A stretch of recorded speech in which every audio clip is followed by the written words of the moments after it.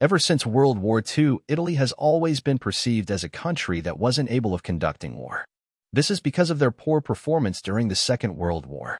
But times have changed and Italy is actually one of the most powerful countries in the world and is building a powerful military against its new enemies. That's why today I'm talking about the future weapons of Italy. Italy's biggest problem is its main battle tank, the C-1 Ares.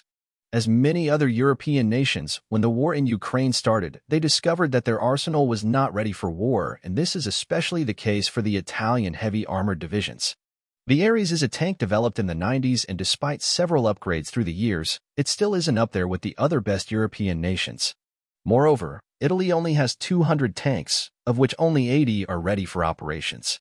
In two years, Russia has lost over 2,600 tanks and Ukraine lost 1,500. This means that Italy's tanks would be gone after a month of fighting. This, of course, is not sustainable and the Italian armed forces know. That's why Italy is adopting two solutions, one for the short term and one for the long term. In the near future, Italy is working to adopt the German Leopard 2 tanks in their latest and most advanced version, the Leopard 2A8. Italy plans to buy over 130 Leopard 2A8 tanks from German company Rheinmetall and then modify them in its own industry plants. And to modernize 125 of its old C1 Ares tanks to the new C3 version, which will improve its armor, sensors, and engines. And will fit a new turret on the tank, the HitFact Mark II, which you can see in the photo. It has an automatic loading system, the new HITROLE remote weapon station, and a laser warning system. The Leopard 2 and the R8 in its newest version are meant to be used until 2035. But Italy is not waiting, and they are entering the main ground combat system project to design the European tank of the future. Italian defense company Leonardo has agreed to cooperate with Rheinmetall and Nexter to develop a futuristic and highly technological design to replace old tanks and infantry fighting vehicles. But Italy is not only looking to replace its tanks. The army wants to develop a modular design so that it can be used for different purposes. That's why they launched the Army Armored Combat Vehicle Program, in which they plan to acquire over a thousand armored combat vehicle to replace their old Dardo infantry fighting vehicles. The A2CS program is currently evaluating three different vehicles. The most likely to be selected is the Lynx KF41, and other options are the CV90 and the Boxer in its tracked version. Lastly, the real masterpiece of the Italian armored divisions is the B-2 Centaur, a tank destroyer with a 120mm gun that can go as fast as 110 kilometers per hour and has great stability. What makes it better than its competitors is its protection of the crew from IEDs and mines. Moreover, the Italian army is also taking advantage of the B-2's great modularity and have developed two incredible vehicles. One is the Centaur 155 Porcupine, an artillery piece with a futuristic design based on the chassis of the B-2 that has a maximum range of 60 kilometers and can fire up to 8 rounds per minute. The second design is the Draco anti-air system, which is armed with a 76mm naval gun refitted and modified to shoot down aerial threats with guided munitions which allow the vehicle to have unmatched range without sacrificing the great protection offered by the chassis of the B-2 Centauro. Despite its great benefits, the B-2 lacks in space for troops and cannot bring many troops to the front line. Italy is solving this problem with its new VTLM-2 Lynx.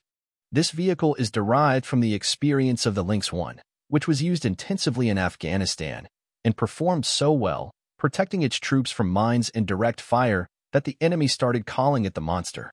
And now, in its second version, the Lynx is even better. It's more digitalized, has a more powerful engine, and is more agile. It also has increased protection and payload capacity. It's so good that the Italian army is planning to have almost 4,000 of them by 2035. And while you might be thinking that the Italian army is really good, just wait to hear about its navy and air force. The Italian Air Force is on the same tier as the other big powers, as it can count on around 100 Eurofighter Typhoon and around 95th generation F-35 fighter jets. Moreover, the Italians are developing a new helicopter to support its land forces, which is allegedly better than the Apache. The name of the helicopter is Agusta AW249 Phoenix and has just registered its maiden flight. It's larger and has a better survivability than its predecessor, the Agusta AW129. It's armed with a 20mm rotary cannon and spike missiles. Lastly, Italy's real pride is its navy. It's already one of the most powerful in the world, being ranked around 10th place, but it's going to be even more powerful in the future. The Navy is developing a new evolution of the FREMM vessels, which are so good that even the U.S. Navy ordered them, with the name Constellation class. These ships are armed with either two 76mm cannons in their anti-submarine version or with a 127mm and a 76mm cannon in the general-purpose version. Then, the ship has missile launchers to fire Theseus Mark II anti-ship missiles, with a range of over 350 kilometers.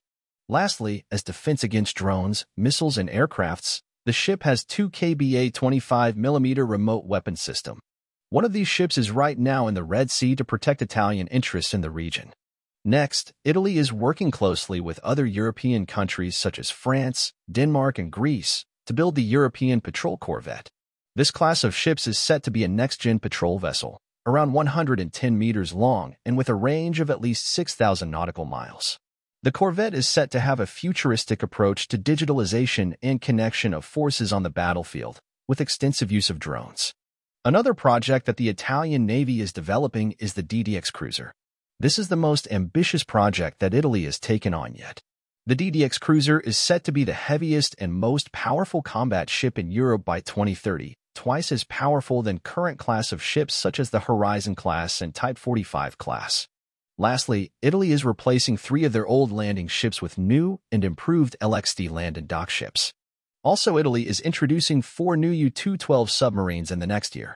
So by 2030, Italy would have 10 FREMM frigates, 7 medium offshore patrol vessels, which were launched just a year ago, 8 new mine countermeasure vessels, 3 land and dock ships to replace the old San Giorgio class, two DDX cruisers that are set to be the most powerful vessels in Europe, two Horizon-class corvettes for offshore patrol vessels, eight modern U-212 class submarines, and lastly, it would be one of the few countries in the world to have two aircraft carriers. Thank you for watching the video.